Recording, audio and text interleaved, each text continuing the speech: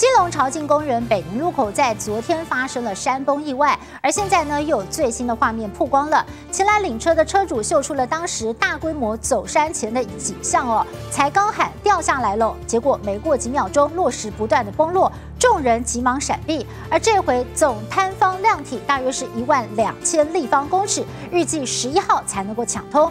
中油也紧急的抽出了附近储油槽内二十多吨的油。其实北宁路发生山崩已经不是第一次了，每个月呢也都有用仪器来观测，但是为什么在这次没有能够及时的达到监测预警的效果呢？公路局也做出了回应。掉下来！声呼喊，赶紧后退！在录影像时，眼前巨石已经挡住去路。刚到啊，然后后视枪打开，要要拿钓竿嘛，要下去钓鱼。哎，怎么听到后面怎么有乒乒乓乓的声音？回头看的时候，哎，不对哦，怎么越下越多？赶快，我们就赶快跑了嘛。余悸犹存的还包括这位女机车骑士。我停到现场，我就看到不对，摩托车赶快牵着跑，因为我新车。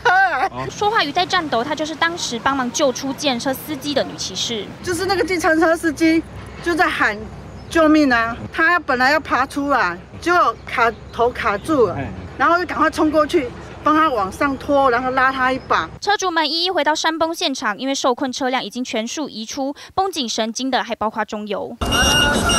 仅一墙之隔有座储油槽，中油一早抽走剩余的二十多吨油。这位坍塌面积透过计算，总摊方量约一点二万立方公尺，预计到十一号才能通车。周遭商家生意马上掉了三到五成。不过北宁路一带过去曾多次落实摊方，该路段每个月都有观测，为何这次无法发挥及时预警作用？